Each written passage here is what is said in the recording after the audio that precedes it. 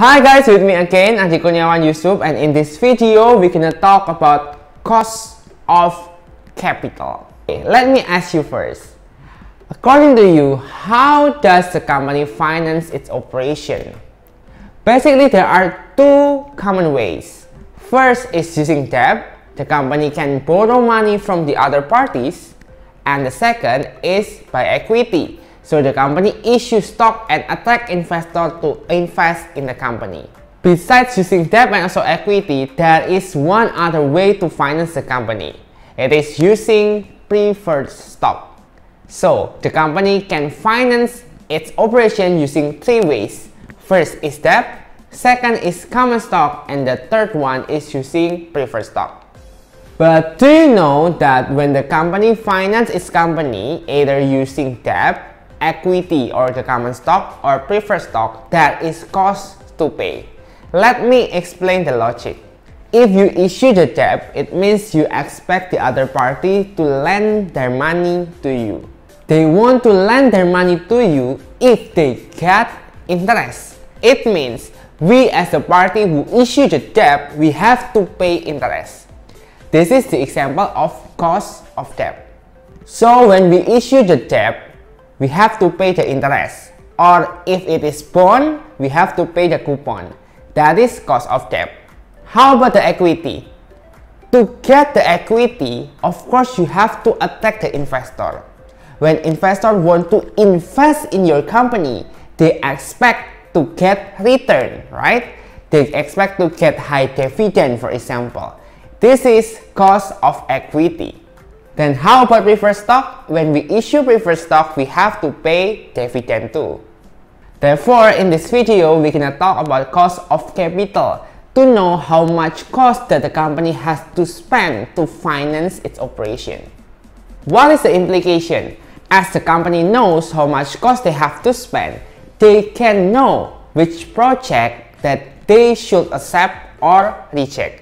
If the project return is higher than the cost of capital, they can accept it. But if the project return is lower than the cost of capital, they can reject it. Let's talk about the symbol. For the debt, the symbol is D. For equity or common stock, the symbol is S. While the preferred stock, the symbol is P. So when we talk about cost of debt, the symbol will be RD because for the cost we use R. For cost of equity, it means RS. For cost of preferred stock, we use RP. Now, how to calculate the cost of capital?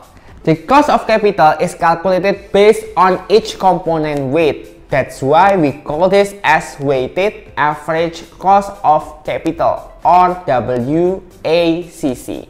WACC formula equals to WD times RD times 1 minus tax plus WP times RP plus WS times RS. W is the weight. Weight is the proportion of each capital component to overall capital. WD means weight of debt. WS means the weight of equity.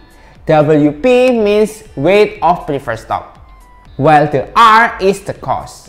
If we look to the formula, in the debt side, we have to multiply it with 1 minus tax. While for the other, we don't need to multiply with 1 minus tax. Why? Because cost of debt is the interest. If you remember in the financial statement, if the interest increase, the EBT will decrease. If EBT decrease, the tax will also decrease. Because of that, interest is tax deductible. Interest can deduct the tax. That's why for the debt side, we have to multiply with 1 minus tax. Let's go directly to the sample question. The company used debt $200, the equity $500, and also preferred stock $300. What is the weight of debt, equity, and also preferred stock?